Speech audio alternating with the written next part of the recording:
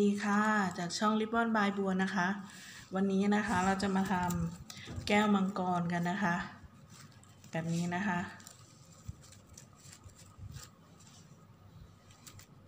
แบบง่ายๆนะคะ พอดีบัวรับงานมา 100 ลูกนะคะ ก็เลยจะเอามา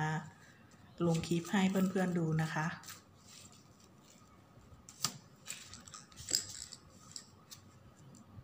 ประมาณนี้นะคะ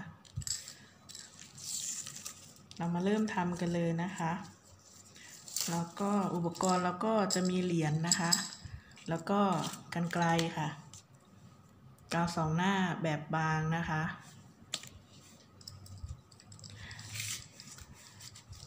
ริบบิ้นที่เราใช้นะคะเป็นริบบิ้นเบอร์สองนะคะ ตัดความยาวอยู่ที่ 60เซนติเมตรนะคะ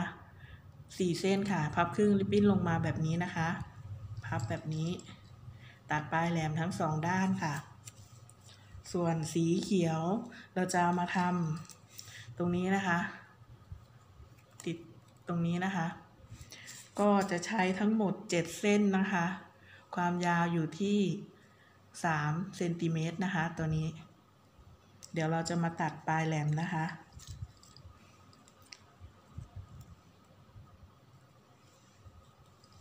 เรามาเริ่มทำกันเลยค่ะ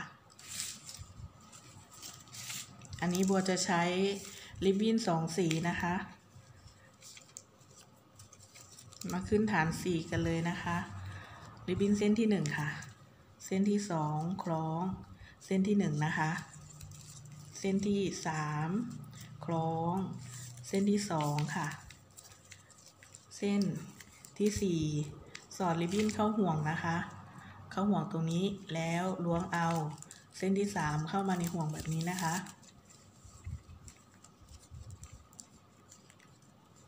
แบบนี้ค่ะ จากนั้นนะคะเราจะขึ้นฐาน 8 ค่ะ พับริบบิ้นเส้นด้านล่างเฉียงขึ้นมาด้านบนค่ะ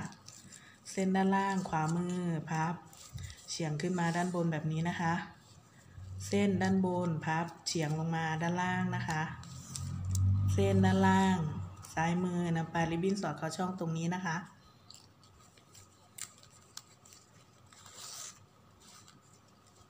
รีดให้เป็นรอยนะคะ การริบบิ้นเลื่อนหลุดนะคะ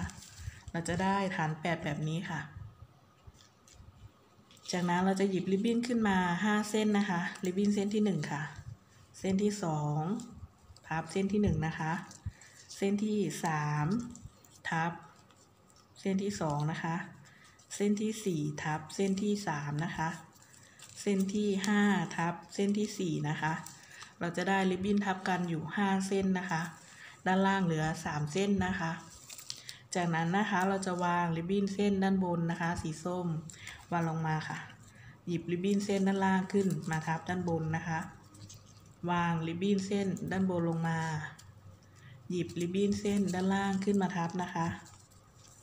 วางริบบิ้นเส้นด้านบนนะคะ วางลงมาค่ะ หยิบริบบิ้นเส้นด้านล่างขึ้นมาทับนะคะ เราจะให้ด้านบนเหลืออยู่แค่สี่เส้นนะคะ เราจะวางเส้นนี้ลงมาค่ะ วางลงมาแบบนี้นะคะ ระหว่างกลางตรงนี้นะคะ ไม่ต้องทำอะไรนะคะ จากนั้นเราจะยกริบบิ้นขึ้นมานะคะ ใช้มือซ้ายเราช่วยจับไว้นะคะ ประคองไว้แบบนี้ แล้วก็จะปัดสี่เส้นที่เหลือด้านบนมาไว้ด้านหลังแบบนี้นะคะ เราจะเอาสี่เส้นนะคะ สอดเข้าห่วงด้านหลังนะคะหนึ่งสองสามสี่นะคะ ริบบิ้นเส้นแรกนะคะ สอดเข้าห่วงที่หนึ่งค่ะ แบบนี้นะคะ เส้นที่สองนะคะ สอดผ่านห่วงหนึ่งมาโผล่ห่วงที่สองแบบนี้นะคะ ส้นที่สามนะคะผ่านห่วงหนึ่งห่วงสองมาโผล่ห่วงที่สามแบบนี้นะคะ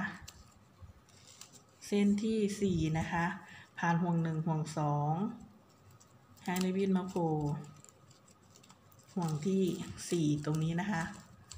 ตรงนี้ถัดกันมาเรื่อยๆนะคะ แล้วก็จะได้แบบนี้นะคะริบบิ้นก็จะยุ่งๆนิดนึงนะคะ แล้วก็รวบริบบิ้นเข้าหากันเลยค่ะพ ลิกกลับด้านมาค่ะพลิกกลับด้านมา ดึงให้กระชับนะคะ ค่อยๆไล่ดึงนะคะ ถ้าเราสอดถูกนะคะ ริบบิ้นเขาก็จะโผล่ออกมาแบบนี้นะคะ ช่องใครช่องมันแบบนี้นะคะ แบบนี้แล้วก็ค่อยๆไล่ดึงให้กระชับนะคะ แล้วก็จะได้ประมาณนี้นะคะ ด้านหน้าเราก็จะได้ประมาณนี้ จากนั้นนะคะเราจะทำด้านล่างตรงนี้นะคะ พลิกกลับด้านมาค่ะ เราจะหยิบริบบิ้นมาไว้ในมือหนึ่งเส้นนะคะ นับไปสี่เส้นค่ะหนึ่งสองสามสี่นะคะ นับไปสี่เส้นแล้วก็วางพาดหน้าเส้นที่สี่นะคะ แบบนี้นะคะ หยิบริบบิ้นมาไว้ในมือหนึ่งเส้นค่ะนับไปอีกค่ะหนึ่งสองสามสี่เหมือนเดิมค่ะ วางพาดหน้า เส้นที่สี่ค่ะ หยิบริบบิ้นมาไว้ในมือหนึ่งเส้นนะคะ นับไปหนึ่งสองสามสี่วางพาหน้าเส้นที่สี่ค่ะ เส้นด้านล่างแล้วก็ใช้มือซ้ายเราหนีบไว้นะคะ หยิบริบบิ้นขึ้นมาหนึ่งเส้นนะคะ แล้วก็นับไปหนึ่งสองสามสี่นะคะ วางริบบิ้นพาดหน้าเส้นที่สี่แบบนี้นะคะ จากนั้นนะคะ ด้านบนเราก็จะเหลืออยู่สี่เส้นแบบนี้นะคะ เราจะเอาริบบิ้นเส้นแรกค่ะ สอดเข้าช่องตรงนี้นะคะ ตรงนี้เลย สอดเข้าไปค่ะ แล้วก็ริบบิ้นเส้นที่สองนะคะ สอดเข้าช่องเดิมเมื่อกี้นะคะ ที่เราสอดนะคะ แต่ให้ริบบิ้นเขาโผล่ช่องที่สองแบบนี้นะคะ เส้นที่สามนะคะ สอดเข้าช่องเดิมค่ะ ให้ริบบิ้นเขาโผล่ช่องที่สามแบบนี้นะคะ เส้นที่สี่ค่ะ สอดช่องเดิมค่ะ ให้ริบบิ้นโผล่ช่องที่สี่แบบนี้นะคะ ริบบิ้นเขาก็จะโผล่ออกช่องใครช่องมันแบบนี้นะคะ เราจะได้ลักษณะนี้ จากนั้นนะคะแล้วก็พลิกกลับด้านมาค่ะ ดึงให้กระชับนะคะ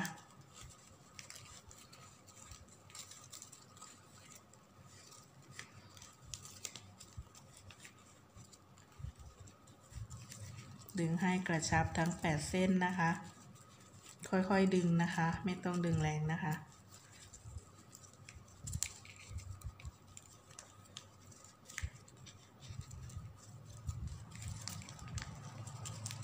แล้วก็จะได้ประมาณนี้นะคะ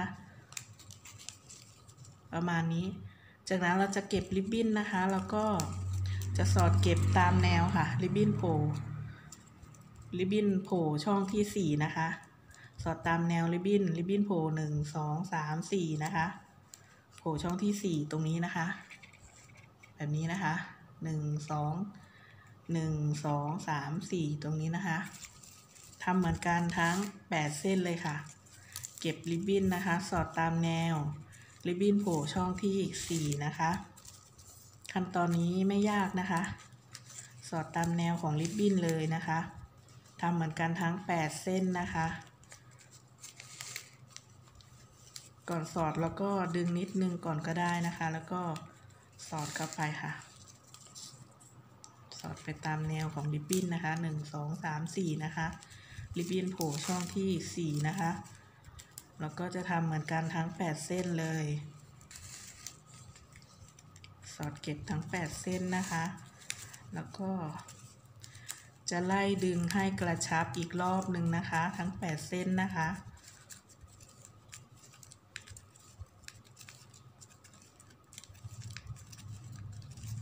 แล้ว ก็จะได้ประมาณนี้นะคะ ประมาณนี้ เพื่อนๆจะใส่เหรียญก็เอาเหรียญใส่ในขั้นตอนนี้เลยนะคะ ดันเหรียญเข้าไปเลยนะคะ ดันเหรียญเข้าไปแบบนี้เลย อันนี้บัวไม่ได้ใส่ให้ดูนะคะ เอาเหรียญเข้าไป เหรียญเข้าไปเสร็จแล้วก็จะสอดเก็บอีกรอบหนึ่งค่ะพลิกกลับด้านมาด้านนี้นะคะ แล้วก็สอดตามแนวค่ะ เหมือนเดิมเหมือนรอบที่แล้วนะคะ สอดตามแนวริบบิ้นนะคะ ริบบิ้นโผล่ช่องที่สี่นะคะหนึ่งสองสามสี่นะคะ แบบนี้นะคะ แล้วก็สอดทั้ง 8 เส้นเลยนะคะ ริบบิ้นเขาก็จะโผล่ไล่กันไปเรื่อยๆนะคะ โผล่ถัดกันไปเรื่อยๆค่ะ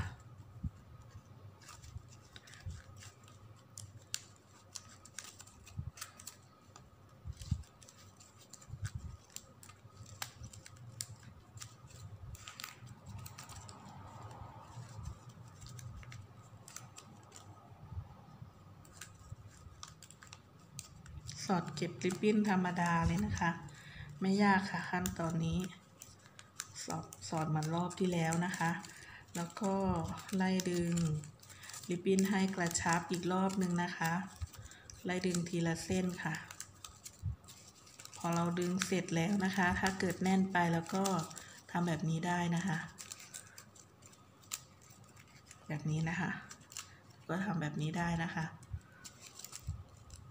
แล้วก็จะเสร็จเรียบร้อยแล้วค่ะ แก้วมังกรของเรา เราจะใส่ขั้นตอนสุดท้ายก็ได้นะคะ เหรียญเขาก็สามารถดันเข้าไปได้นะคะ จากนั้นนะคะแล้วก็จะตัดริบบิ้นส่วนเกินเลยค่ะ ตัดริบบิ้นส่วนเกิน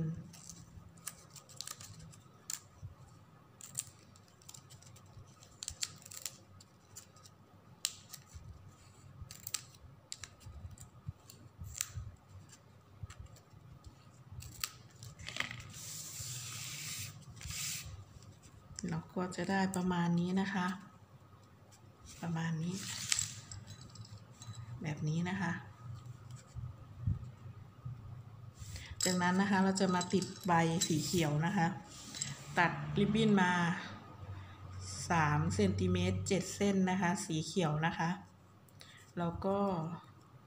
จะมาตัดให้ปลายแหลมแบบนี้นะคะ ให้แหลมๆแบบนี้นะคะ ใช้ 7 เส้นนะคะ เพื่อนๆจะใช้ยาวกว่านี้ก็ได้นะคะ แล้วแต่ชอบเลยนะคะ ตรงนี้เราก็ ตัดให้แหลมแบบนี้นะคะ ประมาณนี้นะคะ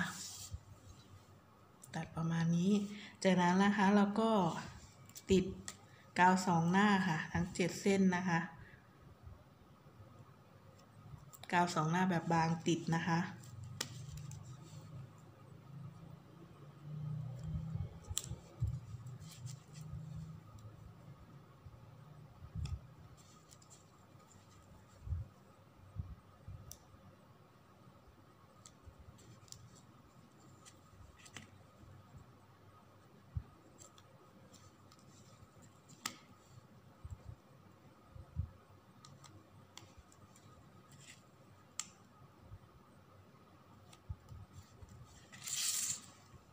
จากนั้นนะคะเราจะมาติดใบนะคะ ติดใบตรงนี้นะคะ แล้วก็ดาวด้านนี้นะคะไว้ด้านบนนะคะ แล้วก็จะติดด้านบน แล้วก็แล้วก็กะเอานะคะ แล้วก็กะเอาติดกะตามใจชอบเลยนะคะ แล้วก็จะเว้นประมาณสองช่องนะคะ เว้นตรงนี้นะคะ เว้นระยะตรงนี้นะคะ ประมาณสองนะคะกะประมาณนี้นะคะ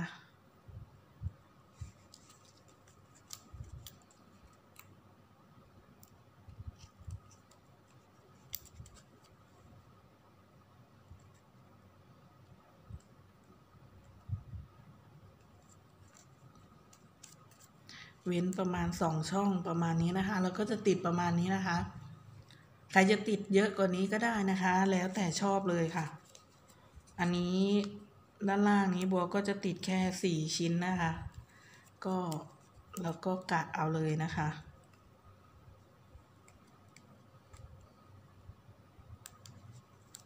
ประมาณนี้ค่ะ ด้านล่างก็จะเว้นประมาณสองช่องนะคะ กะให้ตรงๆกันนะคะ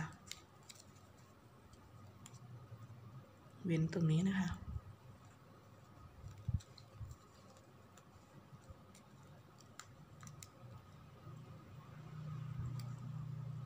ประมาณนี้นะคะ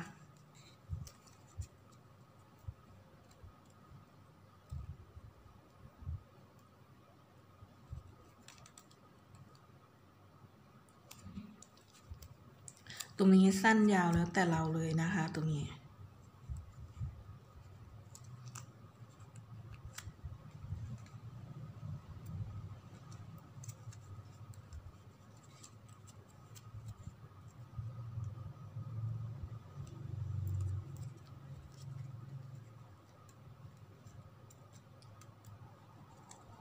ประมาณนี้ค่ะ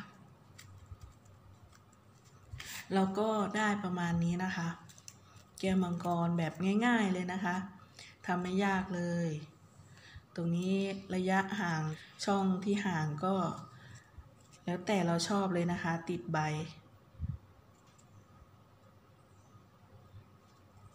ตัดให้แหลมมากกว่านี้ก็ได้นะคะ ตรงนี้